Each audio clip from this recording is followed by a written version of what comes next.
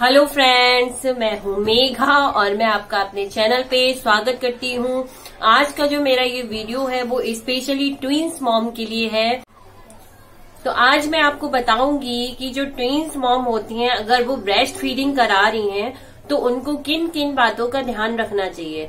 सबसे पहली बात जो आपको ध्यान रखनी चाहिए वो है कि आपको अपनी खिलाई पिलाई का विशेष ध्यान रखना है। जी। और दूसरा काम आपको ये करना है कि आपको भूखे नहीं रहना है, ठीक है?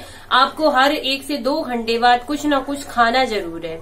और तीसरा काम आपको ये करना है कि आपको दूध दिन में कम से कम दो से तीन ग्लास ज़रूर लेना है। जी हाँ। और अगर आपको दूध नहीं पसंद है तो आप क्या कर सकती हैं कि आप जो है प्रोटीन पाउडर डाल के ले लीजिए, या आप गुड़ के साथ ले सकती हैं, या आप कोई भी चॉकलेटी बहुत सारे पाउडर आते हैं, आप कोई भी डाल के, लेकिन दूध ज़रूर लीजिए, ठीक है? और एक चीज़ और ध्यान रखें कि जब भी आप बच्चे को दूध पिलाएँ तो आप जो है खाली पेट दूध ना पिलाएँ अगर आप बच्चे को खाली पेट दूध पिलाने बैठ जाएँगी तो इससे क्या होगा कि ना तो बच्चे का पेट ही भरेगा, बस बच्चा पीता ही रहेगा लगातार।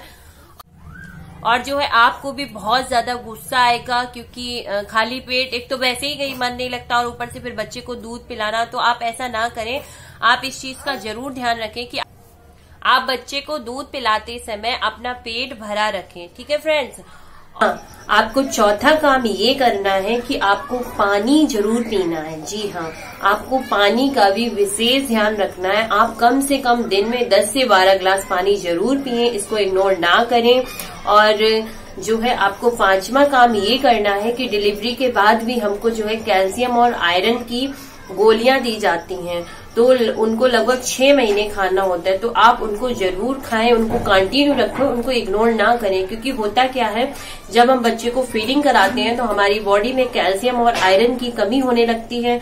तो अगर हम अपनी खाना खाना पीना ठीक रखते हैं और दूध वगैरह लेते हैं, साथ में आयरन और कैल्शियम की टेबलेट भी लेते हैं तो इससे क्या होता है, हमारी बॉडी का बैलेंस जो है बराबर बना रहता है और हमको भी कोई दिक्कत नहीं होती है। तो आपको इसका ज़रूर ध्यान रखना है। और हाँ दूध अगर आपसे, आप दूध को कैसे पिए, आप एक काम कर सकती हैं, आप सुबह एक गिलास दूध ले लीजिए, शाम को एक गिलास दूध ले लीजिए और एक गिलास दोपहर में ले लीजिए पर ले ज़रूर, ठीक है? और अगर आपको अपने, आपको फिट रखना है, बच्चों को भी फिट रखना है तो आपको इतना तो करना ही होगा।